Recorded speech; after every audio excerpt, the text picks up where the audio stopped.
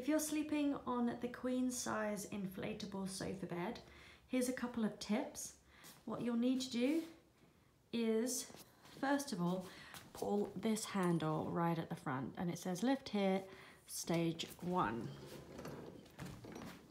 Once you pull that piece out, you can then lift the second piece, which if you can just about see it, says stage two.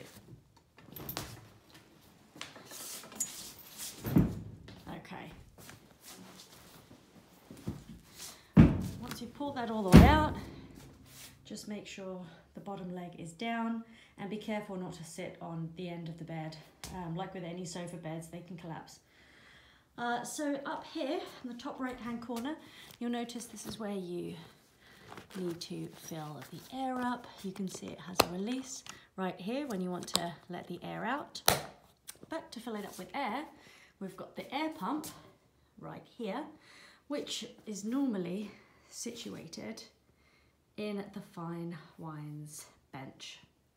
So you take that out, plug it in over here. It's already on the attachment that we find the most useful. You push it in here and hold it down and just make sure there's some air space behind it. And then you pump up the air mattress. It only takes a minute or so and uh, that's it.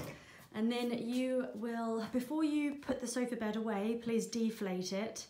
And all the bedding you'll find in the master bedroom, which is the one closest to the back entrance. There's a big walk-in closet in there and uh, all the bedding is in there.